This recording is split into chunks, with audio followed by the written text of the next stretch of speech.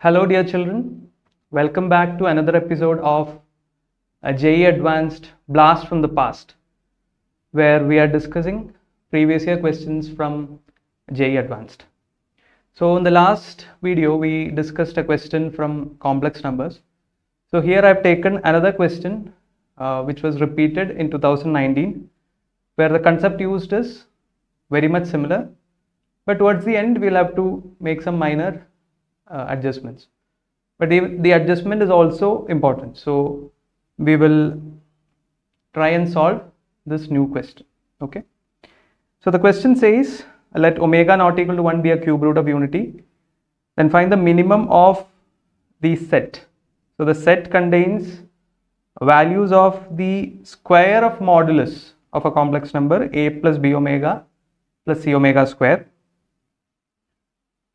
and the condition given here is a b c are distinct non-zero integers. Okay so let us proceed uh, in a similar way that we have proceeded before. And for the benefit of the viewers who have who are seeing this video for the first time so let me redo the steps quickly. So i have to find out modulus square right? Mod set square. To find out mod set square i can take z into set conjugate which is equal to a plus b omega plus c omega square into a plus b omega plus c omega square the whole conjugate. So what is this? This is equal to a plus b omega plus c omega square into individual conjugates, right? So a conjugate is a itself, then we have b omega conjugate plus b omega conjugate plus c omega square conjugate. Right. But we know that omega and omega square are the conjugates of each other right? So let us apply that. What do we get? We get a plus b omega plus c omega square into a plus b omega square instead of omega conjugate and c omega instead of omega square conjugate. So now let us expand this by multiplying. We'll get a square plus b square plus c square. Then we'll have terms in a, b, b, c, c, a. They will have coefficients a, b into we have omega plus omega square. Same with b, c, right? And same with CA. Okay. But we know 1 plus omega plus omega square equal to 0. So omega plus omega square will be equal to minus 1.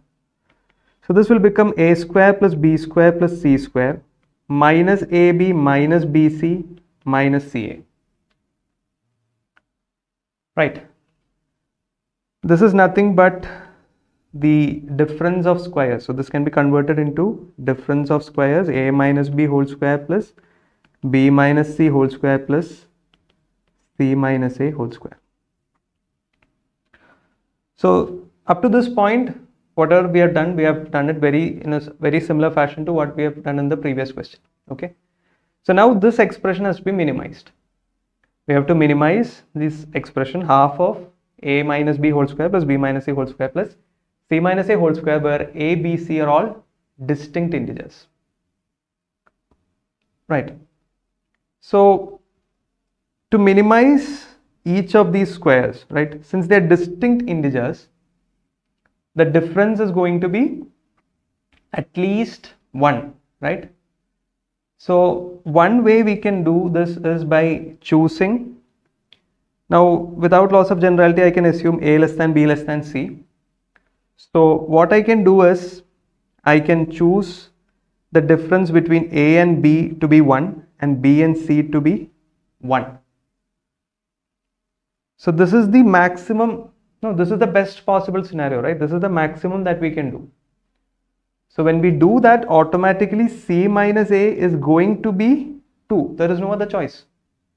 C minus A is going to be 2.